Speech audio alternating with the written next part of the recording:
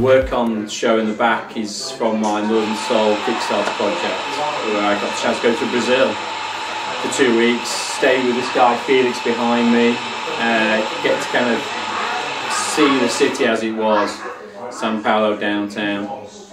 Uh, real gritty atmosphere, you know, street photography at its best. And then in the front room, I've got work that I kind of think anyone could take. You know, if you're out and about, explore and capture. And for me, it's all about that hidden light. It's all about finding those little glimpse of an image and light, using natural light at its best.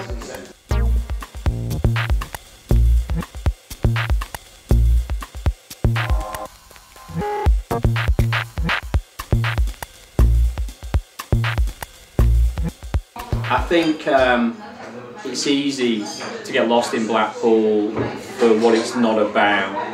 And I think when you look at what's around here, and you've got these great places, people like Ryan and his mum, who just give great food and, like I said, amazing coffee. And for us photographers, we're out and about, it's a great place to meet. And that happened today. You sit down, have a coffee, something to eat, and you find yourself with two or three people that are creatives you get talking, get bouncing ideas around. So next month there'll be another artist, totally different themes, totally different style. So it's really good.